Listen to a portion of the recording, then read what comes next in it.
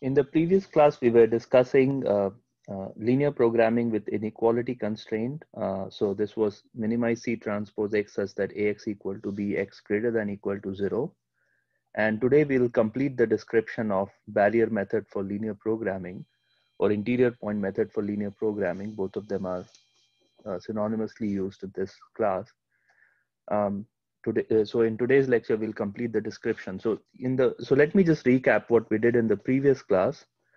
So the first thing we recognized was this is a linear programming problem with this inequality constraint and this equality constraint. So I'll just define my set capital S as the one satisfying the equality constraint, but the inequality constraint is strict. So X is strictly greater than zero. And the function, the barrier function that we'll be using for this particular algorithm is uh, minus summation of log of xi.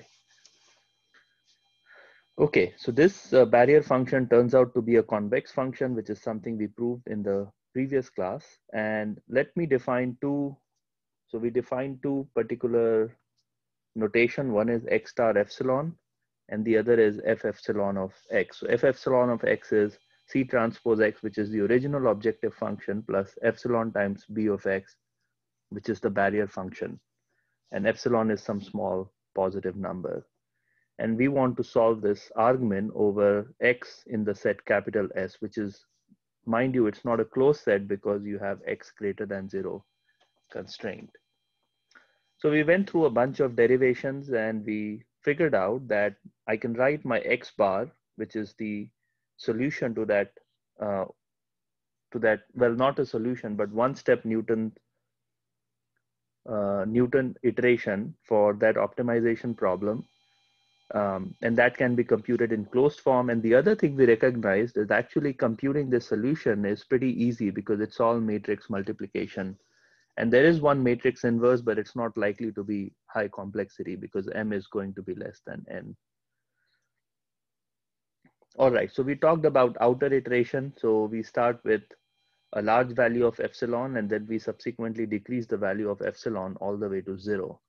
And we keep computing x star for, for each of those values of epsilon. So that would, there, there is an outer iteration where we reduce the value of epsilon and then there is an inner iteration where we try to solve this argmin problem.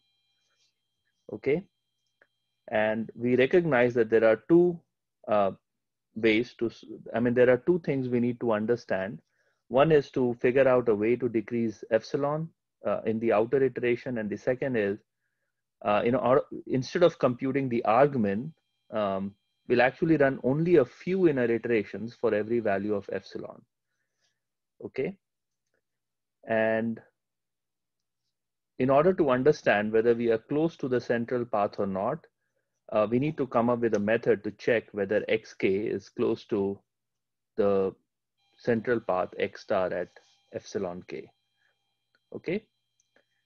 And we came up with this function q of x comma epsilon, which is this diagonal of x inverse x bar minus x. So x bar is the one step Newton iteration and x is the current uh, iterate. And this can be computed in, again, in closed form. It's very straightforward. And this function q of x epsilon has a property that it's equal to zero if and only if x is at the central path. Okay, so in some way, the norm of q measures the proximity of x to x star of epsilon. Okay, so I hope uh, are there any questions uh, right now on what we did in the previous class, or should we proceed to the description of the algorithm? So there are two things we need to figure out. One is how to reduce the value of epsilon, and the other is uh, how many iterations, Newton's iteration should we take in each uh, for each fixed value of epsilon. Any question at this time on what we did in the previous class?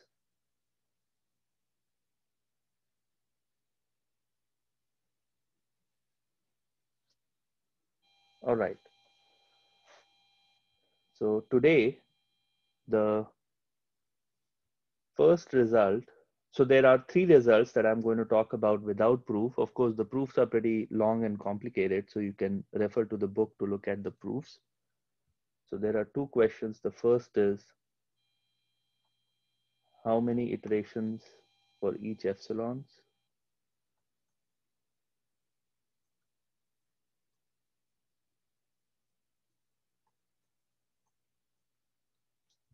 How to reduce epsilon.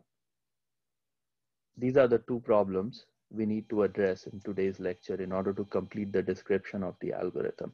Actually, there is a third also. How do we know we are close to the optimal solution? How do we know we are close to the optimal solution. Let me denote the optimal solution by x star zero. So when epsilon is equal to zero, that's the optimal solution we are looking for.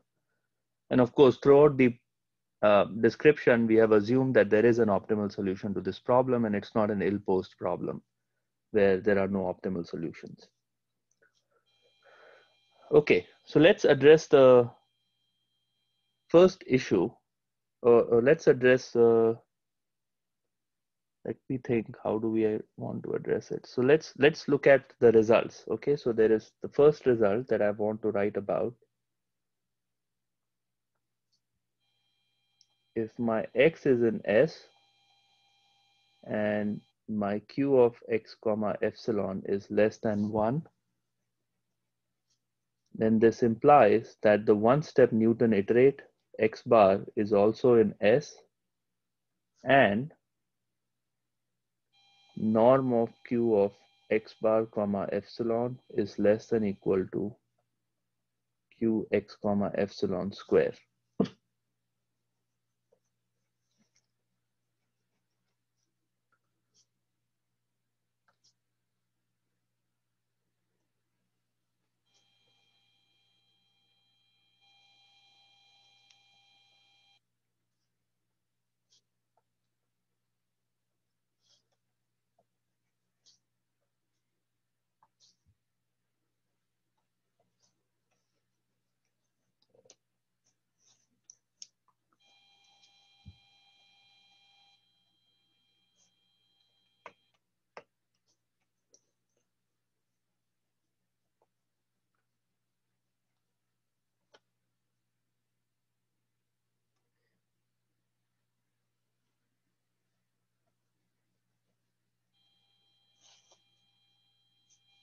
Okay, so we are starting at x.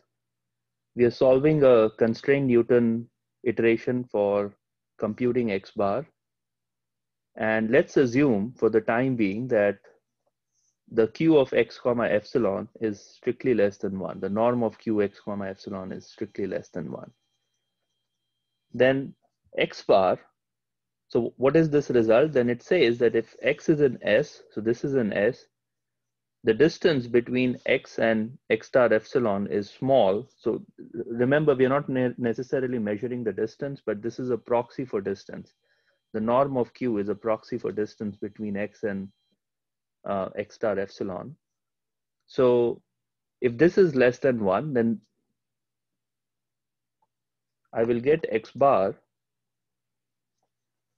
So this is the one step Newton iteration, constrained Newton iteration for this uh, uh, optimization problem, constrained optimization problem for a fixed epsilon. And the q of x bar comma epsilon is less than equal to the norm of q square for x comma epsilon, right? So, so we know that this is less than one. So this is going to be much, much smaller than one, right? Because, um, because this is, um, this is square of a number which is less than one. So x bar is going to be much closer to x star epsilon, right? So this tells me that since I'm already very close to x star epsilon, perhaps I need to reduce the value of epsilon and move farther away. So I'll probably, this is my epsilon, let me write it x1, x bar 1. And this is epsilon 1. Now I'll reduce the value of epsilon to epsilon 2 and I'll use this as my x2. So x bar 1 will become x2. And now again, this has this, if this distance is small, then I can get to x bar 2 which is closer to x star epsilon 2. And again, I'll reduce the value of epsilon and rerun one step of Newton iteration and call this x3. Okay, so this is how, uh, so this is one of the most, this is the most important result, which says that one step Newton iteration will bring you very, very close to the central path. And perhaps it's time to change your epsilon to right after one iteration. So your inner iteration has to be just one step. Don't need to take multiple steps to get close to X star. Any question on this uh, particular lemma, on this result?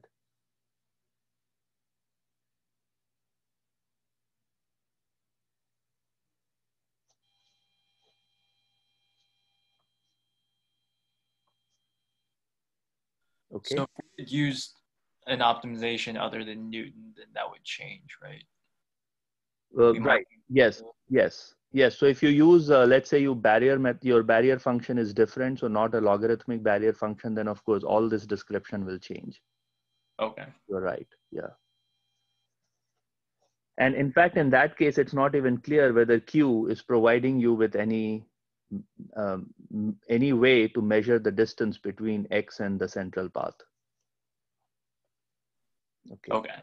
Yeah. So all of this is very dependent on the barrier function on it the barrier function being the one we have that's right well us using newton's method that's right that's right okay. yes yes and the reason why we are studying this method is provably this is the best method for linear programming okay, okay. this was discovered in 1983 and uh, and it's been a revolution since then as far as coming up with algorithms for linear programming is concerned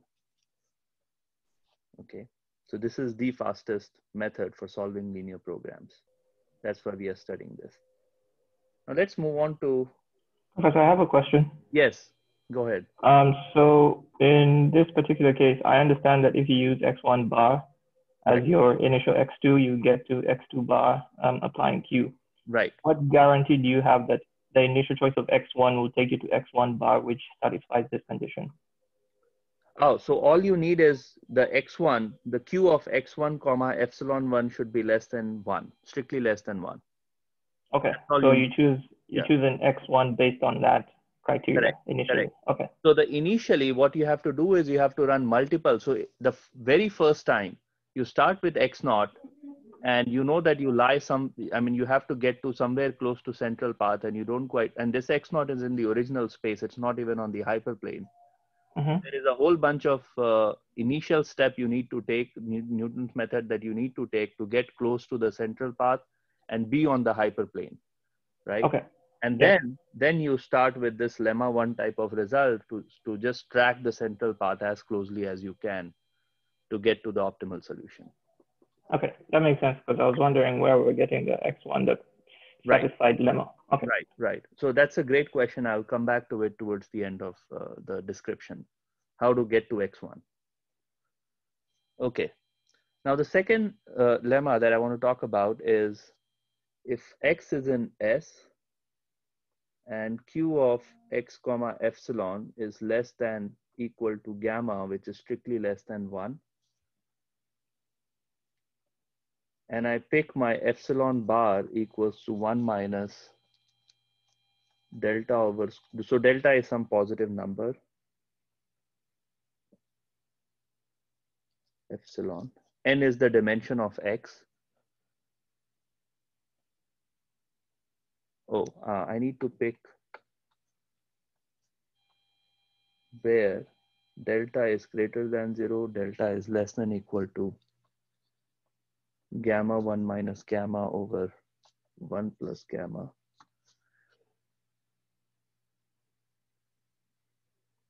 This implies that q of x bar comma epsilon bar is less than equal to gamma.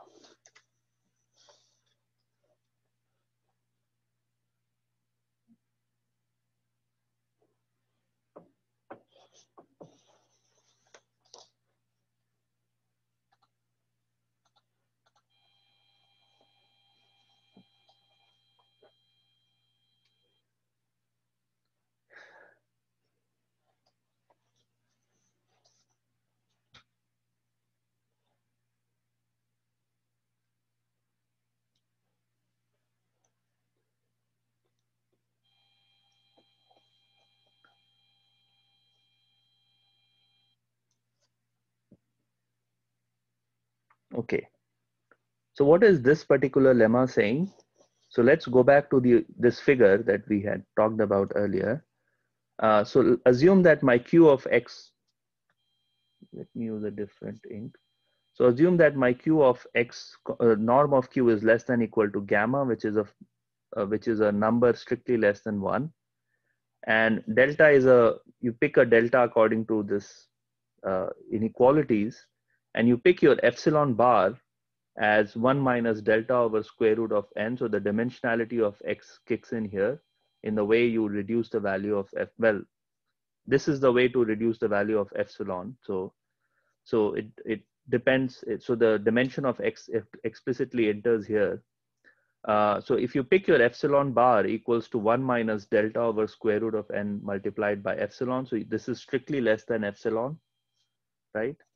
Um, then it turns out that after you take the first Newton step, q of x bar comma epsilon bar is going to be less than equal to gamma. Okay, so so remember this. You started with a point where norm of q is less than equal to gamma. You took a Newton step. You reduced the value of epsilon.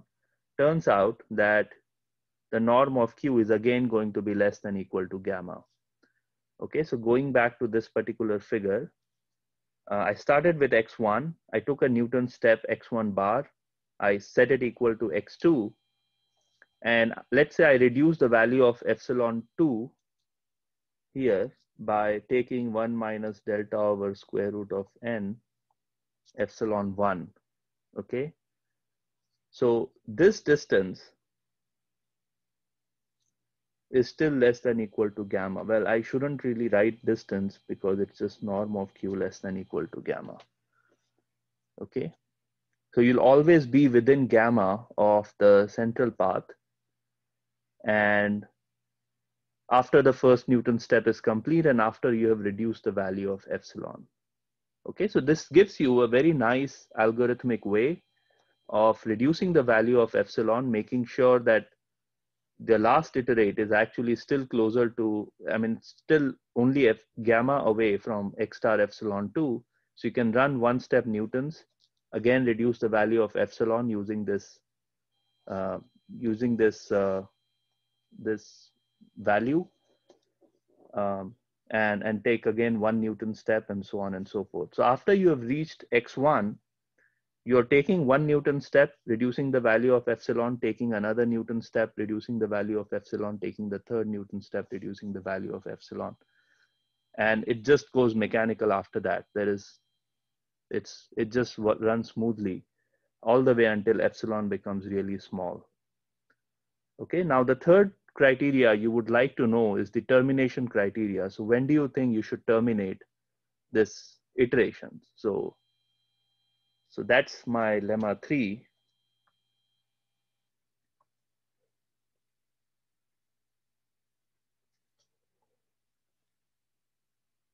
Oh, uh, any question on lemma two before I move on to lemma three, which gives you the termination criteria?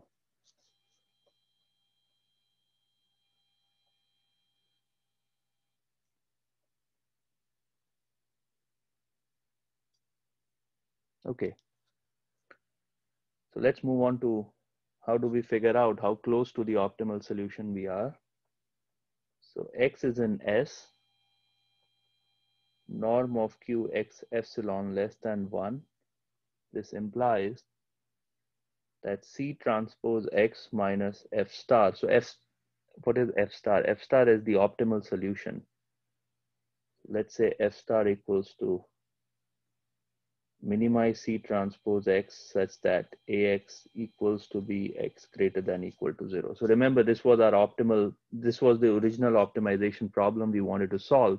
So let's say F star is the optimal solution to this optimal value of this uh, optimization problem. Then this can be bounded from above by epsilon n plus square root of n.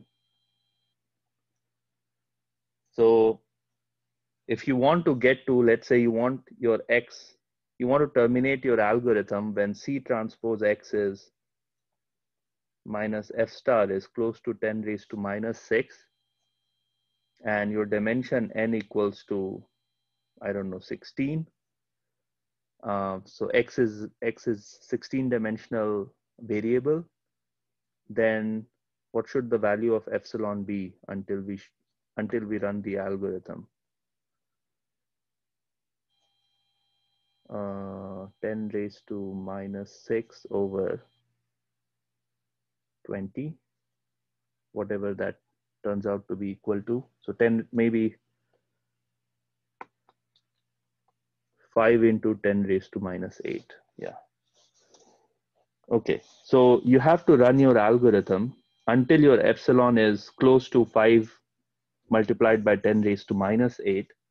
Then you know that uh, as long as q of x comma epsilon is less than 1, uh, you know that you are close to the optimal solution. You are only 10 raised to minus 6 away from the optimal solution.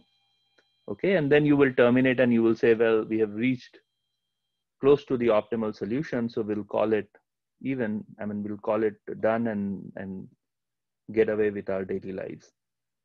Okay, so this gives you the nice termination criteria, which is again in terms of the norm of q of x comma epsilon, epsilon and um, and uh, uh, the optimality gap is given by epsilon and the dimension of x.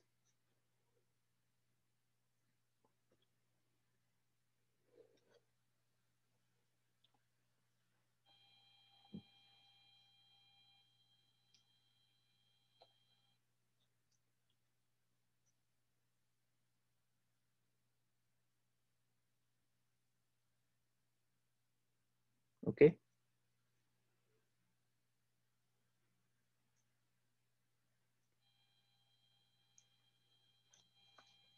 Any question on these three lemmas?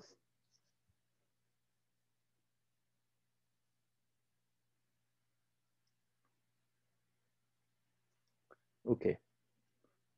So let's go back and recap. So lemma one tells you one step Newton iteration is very, very close to the central path. So you can update the value of epsilon. Lemma two suggests here is a way to update the value of epsilon so that you remain close to the central path. Your iterates are close to the central path at all times.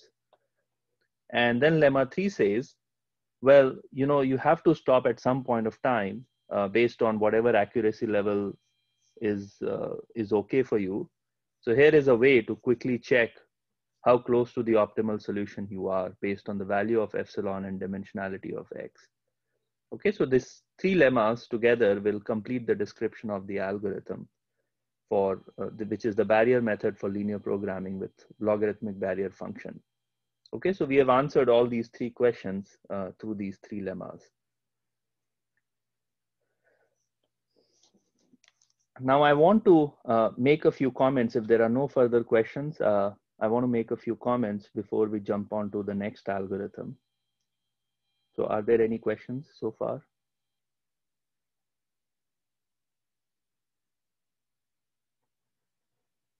Great.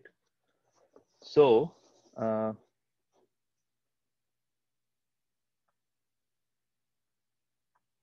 so here is my hyperplane so this is my AX equals to B, X greater than equal to zero. This is my X star. Um, and here is my central path. This is my X star infinity, X star epsilon, and so on. Okay, now initially you're not even on this hyperplane. So whatever x naught and epsilon naught you will pick will be somewhere, I mean, x naught will be somewhere in the space. So x naught is strictly greater than zero. It's somewhere in the space. And your epsilon naught is whatever you probably will start, let's say from 10 or something. Um, and, and the issue, the first is how do you get to x1, right? So remember your x1 should be close to x star epsilon naught. So let me write epsilon naught here. And the idea is once you have picked epsilon naught to be equal to 10, um, what you will do is you will run the constraint Newton method to get close to the x star epsilon naught and you will call it x1.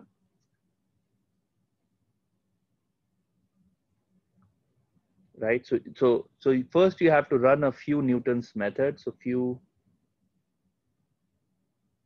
Newton's iteration in the beginning to get to the initial point x1, which is on this surface. And uh, uh, so so on the surface, what is the surface? So it's S, AX equal to B, X greater than zero. So it should be on the surface and it's close to the central path. And after that, you can start running the algorithm the way I've described. So update epsilon, then run one step of Newton's method, uh, update epsilon, then again run one step of Newton's method. Okay, so that's one, uh, one, one way to run the algorithm what kind of problem do you see with this? So this is a very nice approach because you're running only one inner iteration and one outer iteration, okay? And the outer iteration, the value of epsilon is updated according to some geometric way, one minus delta over square root of n multiplied by epsilon. So you can literally calculate how many steps is needed in order to get to this accuracy level because your epsilon is decreasing at a geometric rate. So starting from epsilon naught equals to 10, you can literally compute how many epsilon it's going to take, how many iterations it's going to take for you to get to this accuracy level. And that's how you get the bound for this linear programming method. And it's supposed to be the fastest, in theory, this is the fastest linear programming method for any linear program that you will ever encounter. Okay. So um, what do you think is a so this this method is known as short step method. And what i want to ask you is what are the limitations of this short step method? What do you think would be a limitation of the short step method? Where you are running only one outer iteration and one inner iteration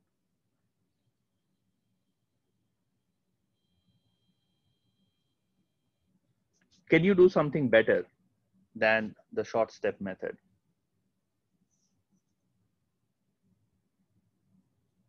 Uh, if I have a sense of the direction, will be better. Sorry, if you? If we have a sense of direction, uh, to x1 will be better. Well, that's what you want to get, right? So you want to get to x star and you don't quite know what, you, you, you don't have a sense of where x star lies. So that's why you have to run some algorithm to figure that out. Um, any any other? Let, so let's let's trace back what what all things we talked about. So we said that we can discount epsilon in this particular fashion, and we get some provable bound on q of x bar comma epsilon bar. And one way, one thing you might wonder is is can we reduce the value of epsilon bar even further? Because as we just saw, the optimality gap in this algorithm depends on the value of epsilon. So we want to get very, in fewer number of iterations, we want to get to the accuracy level that is desired for this, um, for, for our problem.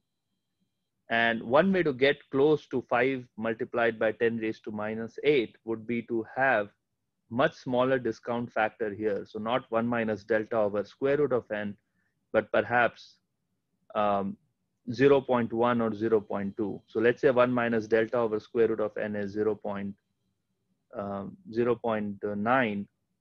Uh, perhaps we want to use 0.6 or 0.5 or 0.1 as the way of discounting epsilon bar so that we get to 5 multiplied by 10 raised to minus 8 in fewer number of iterations right? So that's the so so so the short step method doesn't allow us to do that. So we can't really discount epsilon to a great extent in every outer iteration. We have to reduce it only by a small factor by a large factor which is 0.9 or 0.8 whatever that 1 minus delta over square root of n turns out to be. So so how would you proceed? So now that you know this drawback, how would you proceed with coming up with a better algorithm? Um, I, I, wouldn't say better, but perhaps a bit more uh, uh, a bit fast, a bit more uh, fast algorithm which can get to X star quickly, what would you do?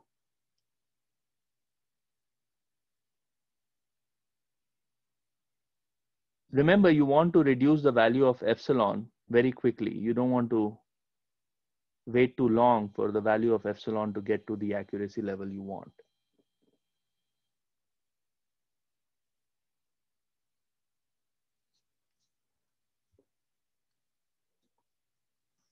What can you do?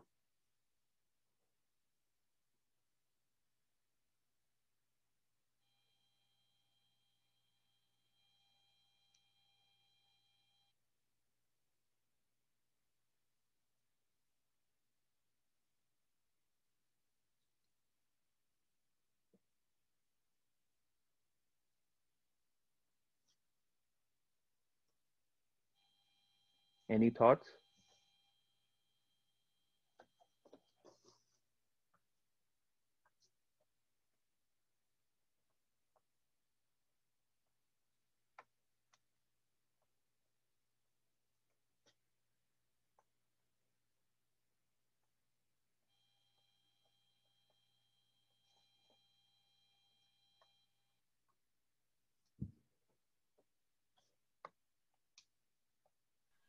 You just pick a larger gamma? Larger gamma. Well, uh, larger gamma would also mean that your delta has to be large. Sorry, uh, delta has to be small because see, gamma has to be less than one and gamma, ga so delta is less than gamma multiplied by one minus gamma. So if you pick gamma too small, delta will be small. If you pick gamma too large, delta will be small. Mm. Right. So, and you want the discounting to be very, very large. So you want your delta to be very, very large. So by optimizing on gamma, you aren't going to get much because there is a fundamental limitation to how much you can reduce it by based on the relationship between delta and gamma. What else is something you can try in this method? So I'm standing here at x1. I'm close to the central paths. This is my x star epsilon 1.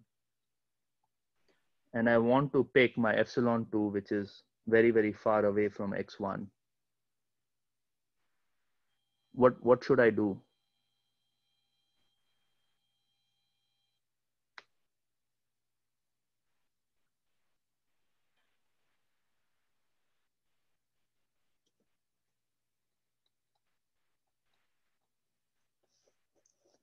Okay, so the idea here is that instead of running one Newton's iteration that you were running in the previous short step method, you're actually going to run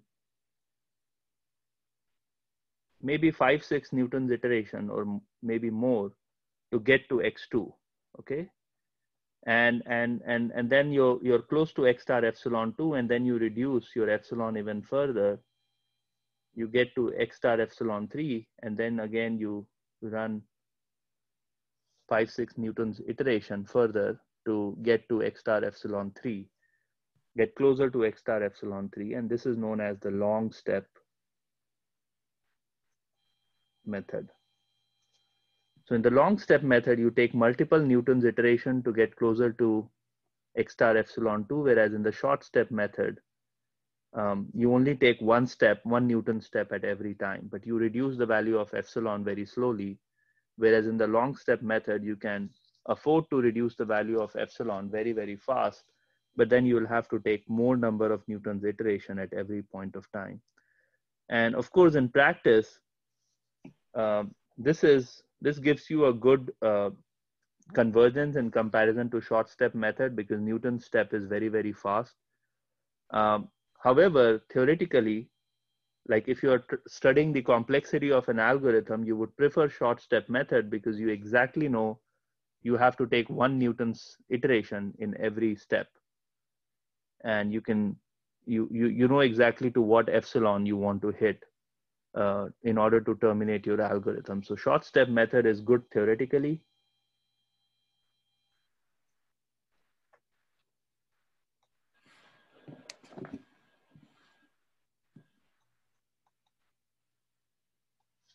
and the long step method has good performance in practice.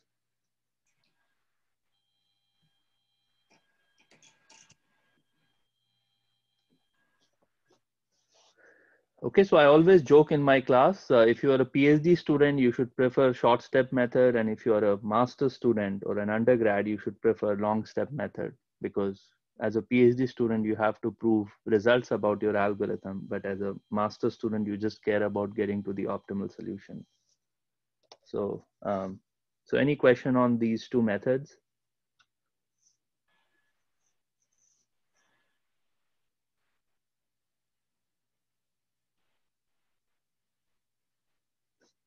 Okay, the, the historical uh, note here is that this algorithm was actually proposed in 1983 uh, by, uh, if I'm not, yeah, I think uh, I think he was a researcher in AT&T Bell Labs, uh, Karmarkar, and he came up with this algorithm, and um, it was the first algorithm with complexity of the order of O n cube uh, for solving linear programming. So O n cube means uh, your, the number of steps you have to take in order to get to the optimal solution is of the order of n raised to 3, where n is the dimension of x, or maybe 3.5. I'm, I'm not very sure whether it was on cube or on 3.5, uh, but it was very less in comparison to the manifold suboptimization method that, that you had uh, coded in your assignment 3. So manifold suboptimization or simplex method has a complexity of on raised to six. So you have, if n is the dimension of your x, um, you, in the worst situation, you will need to take n raised to six number of iterations um, multiplied by some constant. Whereas in this case, uh, you only have to take n raised to 3.5 number of iteration multiplied by some constant um, in order to get to the get close to the optimal solution.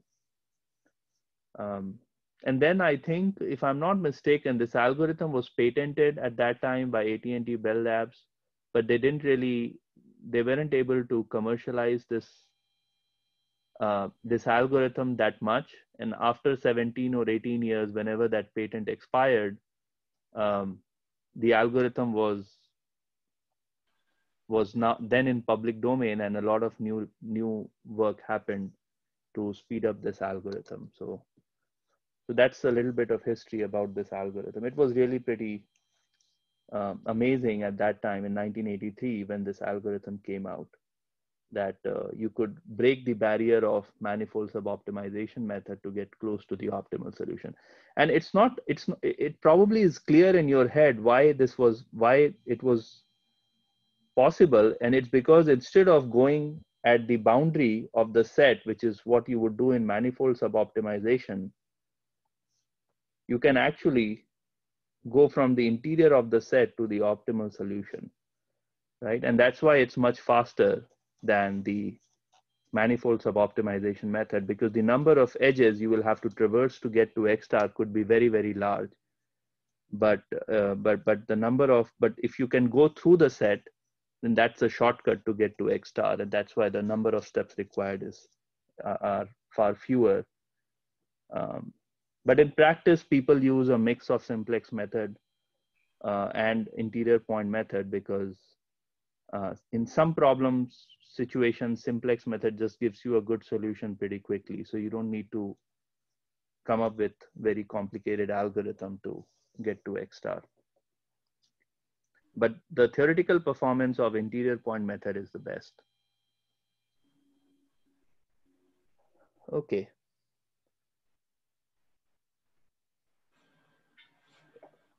The next topic that uh, I want to talk about today is problem with equality constraints. So I have, I want to minimize the function f of x uh, such that hx equal to zero and x is in Rn. So this is, uh, you're basically optimizing the function over a surface in the Euclidean space. Okay, and what have we learned about it? So we know from our experience from the KKT theorem or Lagrange multiplier theorem that we have Lagrangian defined as fx plus lambda transpose hx. And we know that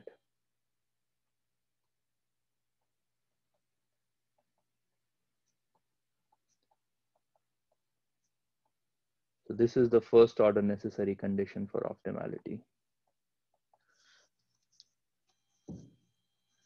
We know it from the Lagrange multiplier theorem. Of course, we require X star to be regular for uh, Lagrange multiplier theorem to hold. So let's just assume that X star would be regular in this case.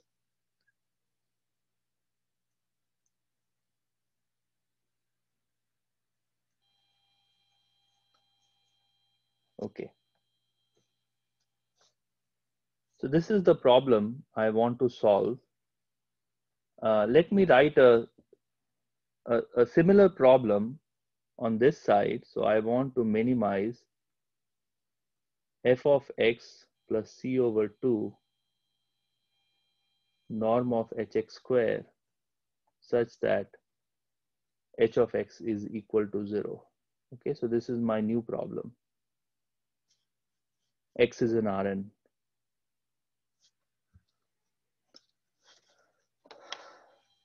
do you think uh, so so what's your feeling about the second optimization problem? So would it have the same optimal solution as the first one or the optimal solution would change because now you have a different objective function than what you had initially? So this is my opt1 this is my opt2 okay so optimization problem 1 and 2 um, what do you think? Would X star be different for the two optimization problems or would they be same?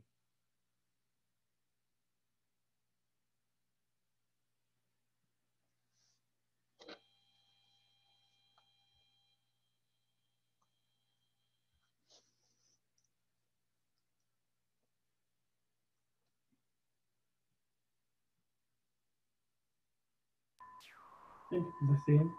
Why would you think why do you think it would be the same? Since h of x is zero. Right. So you're doing this optimization. This op second optimization is uh, on the set where hx is equal to zero. So therefore, adding c over 2 norm of hx square doesn't really change anything as far as the objective is concerned. So in fact, uh, x star of optimization 1 is the same as x star of optimization 2, right? So let's focus now on optimization 2. What would be the Lagrange multiplier for OPT2?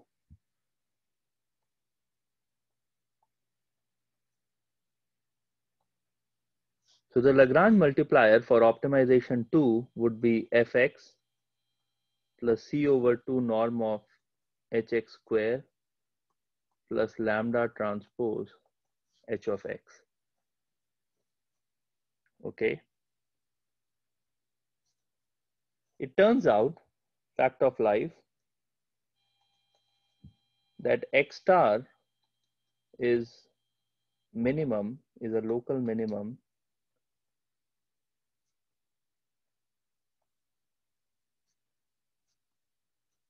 of LC at lambda star. So if you minimize this Lagrangian with the C over 2 HX square term, uh, if you knew the value of lambda, let's say I told you the value of lambda star, uh, you plug in lambda star here, you try to minimize this function.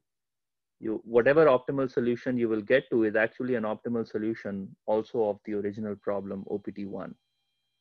So X star or optimal solution OPT1 is equal to optimal solution of LC lambda star for C sufficiently large.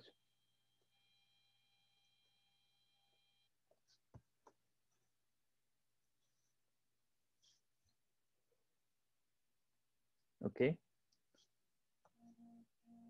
And in order to ease our discussion, um, this term is actually known as augmented Lagrangian.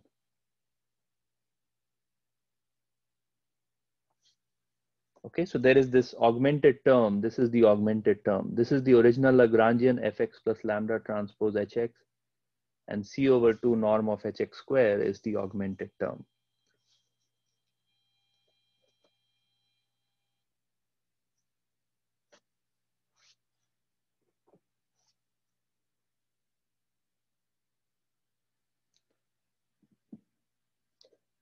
Okay. Now, now that you know that x star is a local minimum of LC lambda star for C sufficiently large, how would you come up with an algorithm to exploit this property in order to get to the optimal solution of OPT1? So this is what you are interested in. And as a matter of fact, we learned about this new thing that we didn't know before. How can I exploit this equality to come up with a new algorithm for solving OPT1? I need some ideas. What ideas do you have?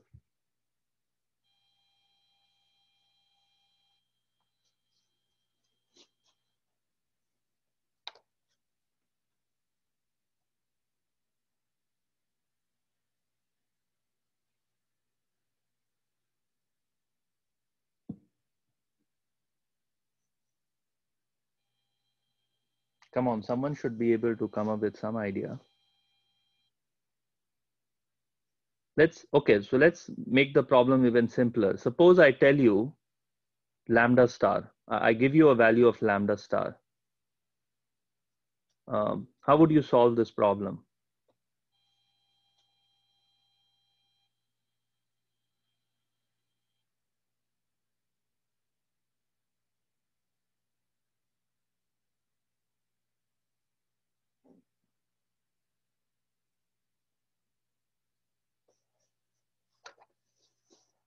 No thoughts?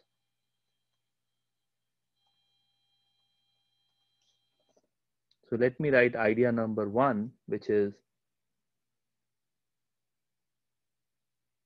if lambda is close to lambda star, pick C very large and solve minimum x in Rn LC x lambda. Okay, so I know the value of lambda, so I'm just going to pick lambda close to lambda star. Uh, I mean, if I know the value of lambda star, of course, I'll plug it in here because I know, but, but I don't typically know the value of lambda star, but I may have some approximations from earlier. So I could use that approximation here, pick a value of C very large and try to solve this optimization problem. Okay, and hopefully whatever solution we get would be close to the optimal solution or would be the optimal solution. Okay. Idea number two is I don't quite know the value of lambda star. So I'm just going to take C very close to infinity. Okay. And because C is close to infinity, uh, remember if I'm solving minimum x in Rn LC of x comma lambda, because C is close to infinity, I'll automatically have hx square close to epsilon. Okay, so I'll, I'll be close to the surface, the surface over which we want to optimize. And uh, and and I don't quite need to know what the value of lambda is. So I'll basically be minimizing the function over the set where hx is equal to zero or hx is very, very close to zero. Okay.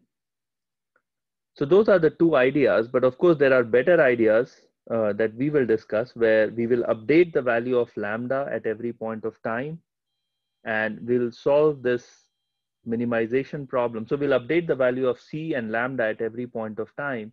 And hopefully as K goes to infinity, we will converge to the optimal solution. And this leads to what is known as augmented Lagrangian method.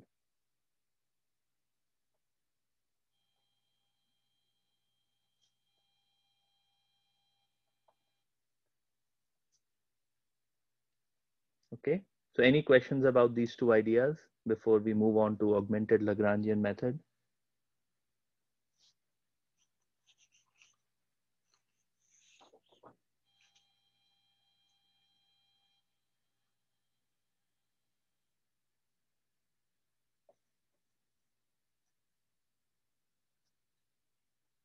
Okay, so what is augmented Lagrangian method? So let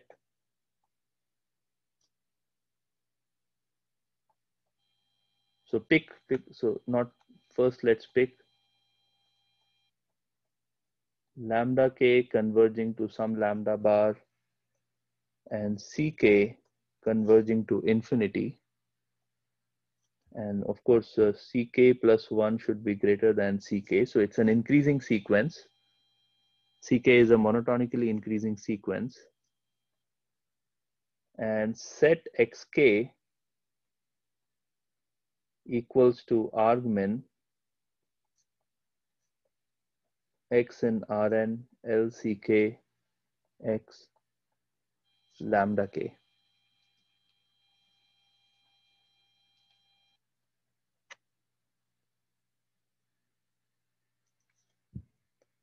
Then, so if xk converges to x bar, then x bar is a global minimum of OPT1.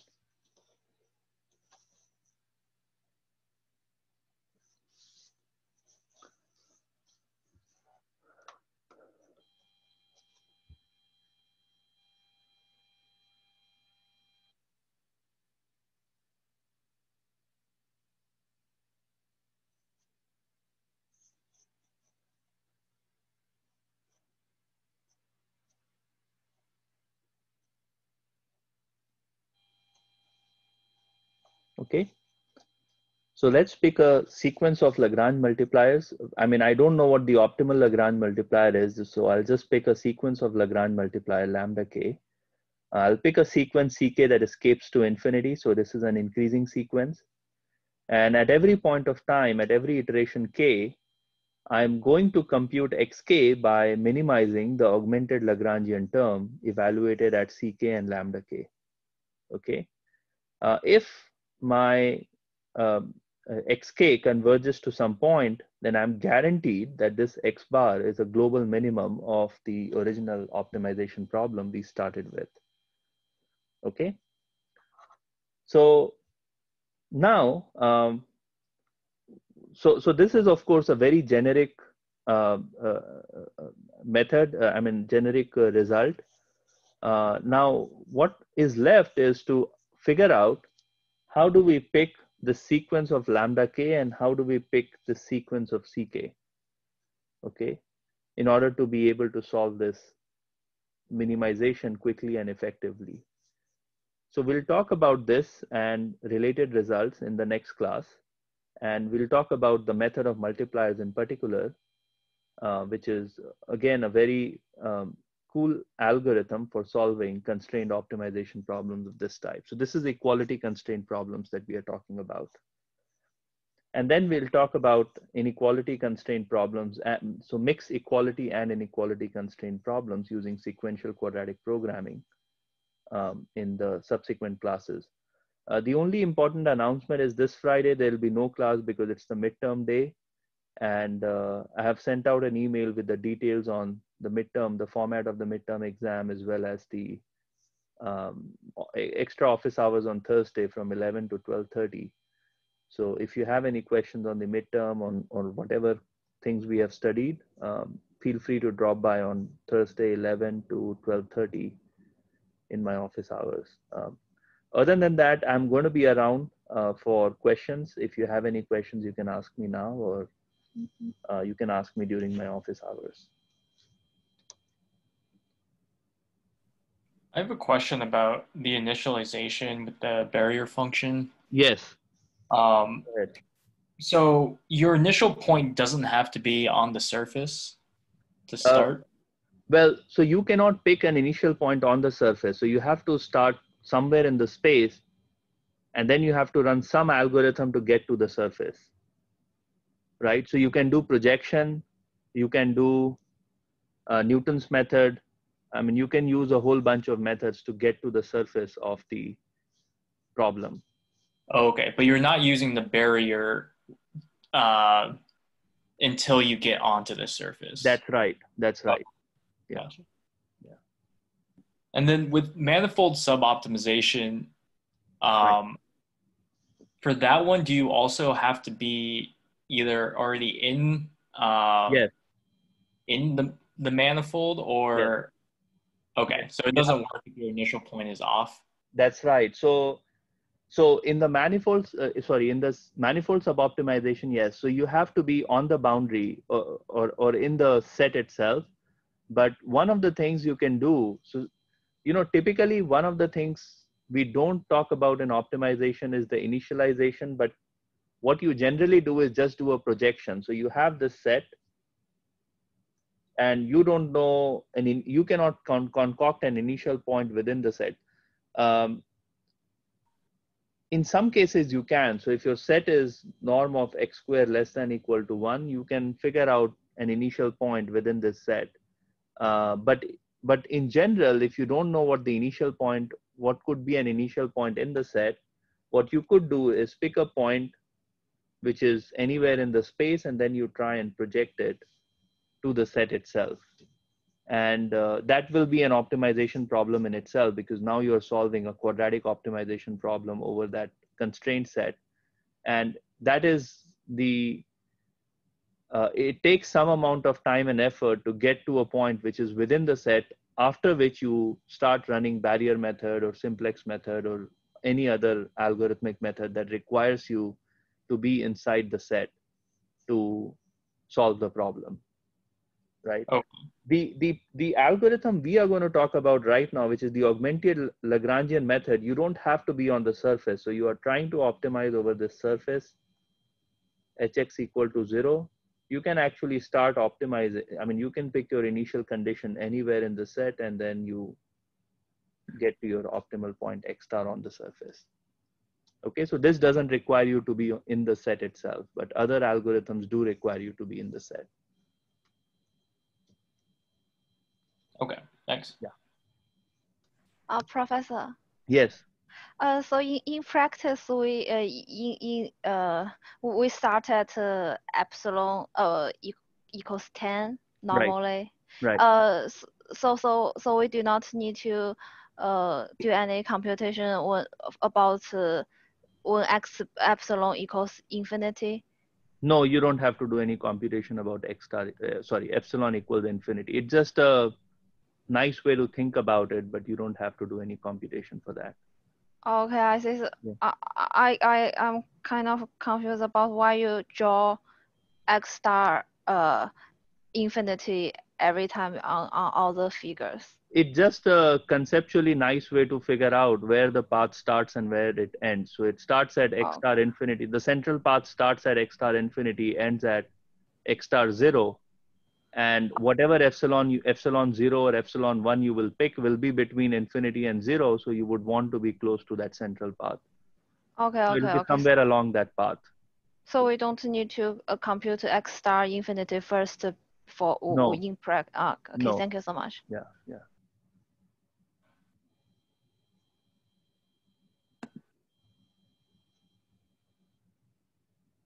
Any other question?